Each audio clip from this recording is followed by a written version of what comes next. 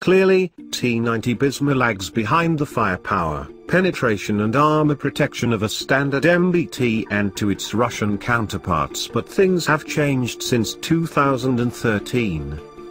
There are many answers that why Bhishma is inferior than the Russian counterparts. But my friends in Pune agrees otherwise. Although it was license built by our own factories, ingenious technology has been proved beneficial. The Bhishma boasts of a new frontal Kanchan armor which was tested superior than its Russian counterparts. The engine was given upgrades like protection systems, navigation gear, thermal imaging sights and fire control systems.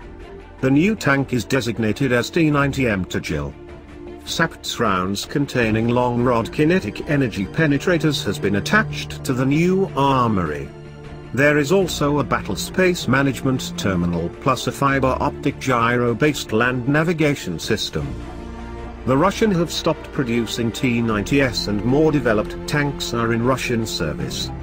But Indian doctrine dictates that we constantly upgrade our old technology to meet modern standards. Most importantly, we have the most precious asset, a battle-hardened crew.